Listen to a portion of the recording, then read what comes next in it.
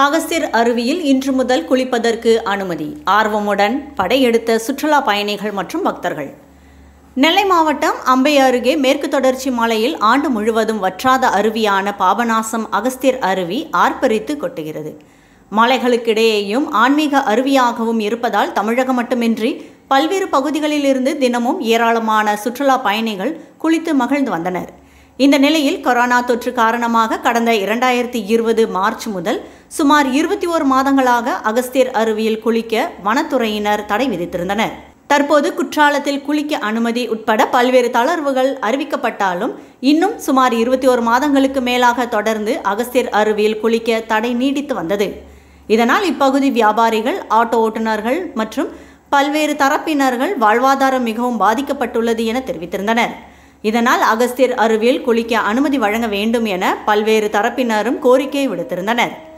இதனை அடுத்து கடந்த இரண்டு நாட்களாக அகஸ்தியர் அருவியில் தண்ணீர் மின்சாரம் உள்ளிட்ட அடிப்படை வசதிகளும் சோதனை சாவடி போன்றவைகளும் அமைக்கும் பணிகளும் தீவிரமாக நடைபெற்று வந்தது.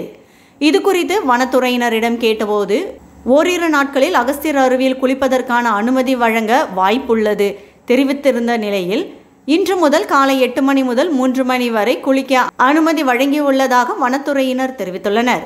இந்த அறிவிப்பை முன்கூட்டியே அறிவித்திருந்தால் நன்றாக இருந்திருக்கும் என சுற்றுலா பயணிகள் கருத்து தெரிவித்தனர். அறிவிப்பு தெரிந்தவுடன் சுற்றுலா பயணிகள் இன்று காலை முதல் குளிக்க தொடங்கினர்.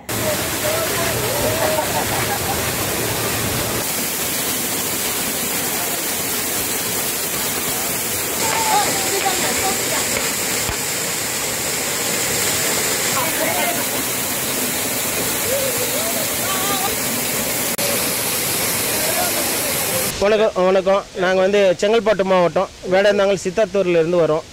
வருஷம் வருஷம் பார்த்தீங்கன்னா நாங்கள் வந்து பாபநாசம் வந்து செலக்ட் பண்ணுவோம். ஏன்னா வந்து இந்த சுற்றுலாத்தலம் தான் எங்களுக்கு வந்து ரொம்ப பிடிச்சமான சுற்றுலாத்தலம். வேறு எங்கே குளித்தாலும் அவங்க வந்து எங்களுக்கு சந்தோஷமாக இருக்காது.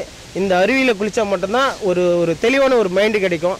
அதே போல் பார்த்தீங்கன்னா எங்கள் ஊரை வந்து இந்த பாபநாசம் வந்து தேர்ந்தெடுத்ததுக்கு காரணம் பார்த்தீங்கன்னா இந்த தண்ணி தான். இந்த தண்ணியில் குளித்தா மட்டும்தான் வந்து ஒரு சந்தோஷமாக கிடைக்கும்.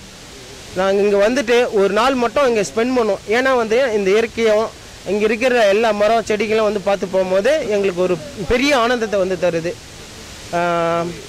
இந்த மூலிகை தண்ணி இந்த மூலிகை தண்ணி படத்தினாலே ஐயப்பனுடைய சந்தோஷம் எங்களுக்கு கிடைக்குது.